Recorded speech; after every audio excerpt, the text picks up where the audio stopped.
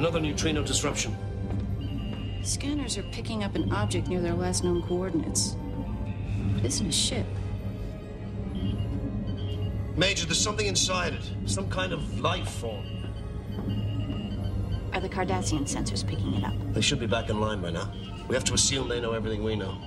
Yellow alert. Secure ops. Beam it aboard, Mr. O'Brien. But put it in a level one security field. Aye, sir. Locking up.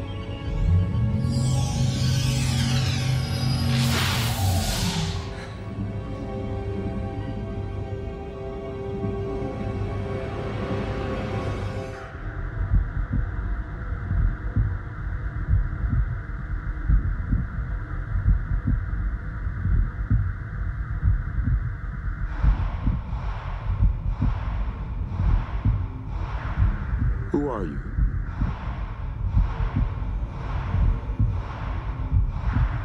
Who are you? It is corporeal, a physical entity. What? What did you say? It is responding to visual and auditory stimuli. Linguistic communication. Yes, linguistic communication. Are you capable of communicating with me? What are you? My species is known as human. I come from a planet called Earth. Earth? This is what my planet looks like. You and I are very different species. It will take time for us to understand one another. What is this time?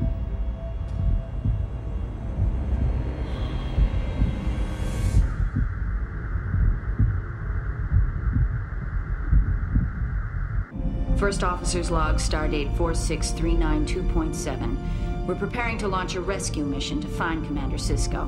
But first, our navigational sensors must be recalibrated to work under the conditions reported by Lieutenant Dax. It is no ordinary wormhole. My analysis suggests that it isn't even a natural phenomenon. Not natural. You mean it was constructed? It's very possible whoever made the orbs also created this wormhole. The Cardassians are leaving their position. On a course toward the Denorios belt. Mr. O'Brien, what would it take to move this station to the mouth of the wormhole? This isn't a starship, Major. We've got six working thrusters to power us, and that's it. A 160 million kilometer trip would take two months. It has to be there tomorrow. That's not possible, sir. That wormhole might just reshape the future of this entire quadrant. The Bajorans have to stake a claim to it. And I have to admit that claim would be a lot stronger if there's a Federation presence to back it up. Couldn't you modify the subspace field output of the deflector generators? Just enough to create a low level field around the station? So we could lower the inertial mass. If you can make the station lighter, those six thrusters will be all the power we need. This whole station could break apart like an egg if it doesn't work. Even if it does work, we're still gonna need help from Starfleet once we get there. The Enterprise is still the nearest starship. It could reach us in two days. We should advise Starfleet that we will require their assistance. You have ops, Mr. O'Brien.